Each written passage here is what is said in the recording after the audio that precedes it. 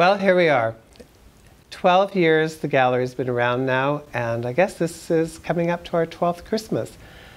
With that, I'd like to wish all of you Merry Christmas or Happy Holidays, Happy Hanukkah, wherever you're celebrating, enjoy, and let's hope it's happy.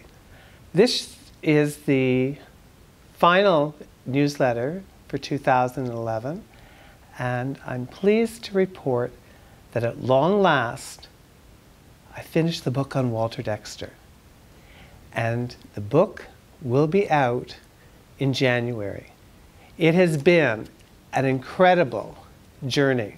Actually, just before Ben of Spur of the Moment Media arriving uh, to film this, I was working on the acknowledgements page that goes into the catalog. And I may as well thank some of the people now in the Christmas greetings. Of course, first person to thank would be Walter, who provided all the material that made it possible.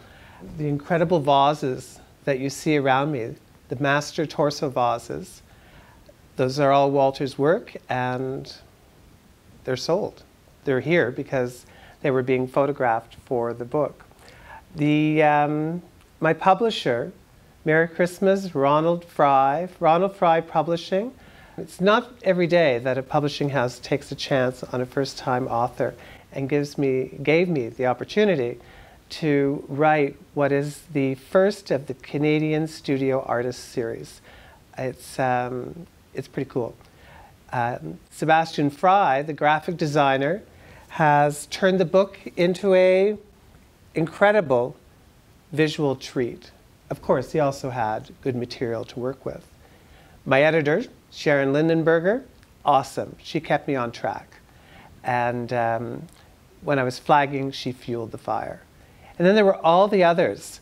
Brian, uh, my wonderful manager, put up with my, I don't know, artistic fits of pique when occasionally I would be frustrated over putting it together. My husband, Stephen, who uh, left me alone to write and understood the amount of time that it would take and take away uh, from getting together as I worked.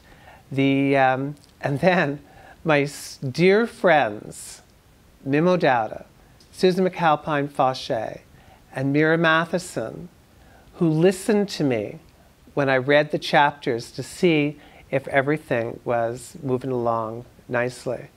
All of these people are people that I have to acknowledge. The exciting thing is that the book is now it's there. It's it's happening, and this is the first one uh, to come out. The uh, wonderful thing about this is that this will bring to the fore the career of an extraordinary ceramic artist, Walter Dexter, Royal Canadian Academy, winner of the Bronfman Award. The book will be out in January. We are hoping that the first launch will be in Victoria, Walter's hometown. If you're interested, and I hope you will be because that's going to keep my publisher smiling, you can contact us and we will give you all the details regarding the book. And um, it is the first in a series. And that is pretty well it for now. This is a short, uh, I guess a short video newsletter. We are, I should mention that the Lynn Valley Bees honey is, it's selling like crazy as well as all the honey pots that we had come in. They've sold. We're now waiting for some more. There will be more artists commissioned to create honey pots. Uh, next year, we've got an exciting slate of um, exhibitions to take place throughout the year. We hope that we see you there and uh, be safe, be happy, enjoy the holidays, buy the book, and uh, please contact me for details. Thank you. Merry Christmas, Happy Holidays, and whatever holiday you're celebrating, may it be happy. Thank you.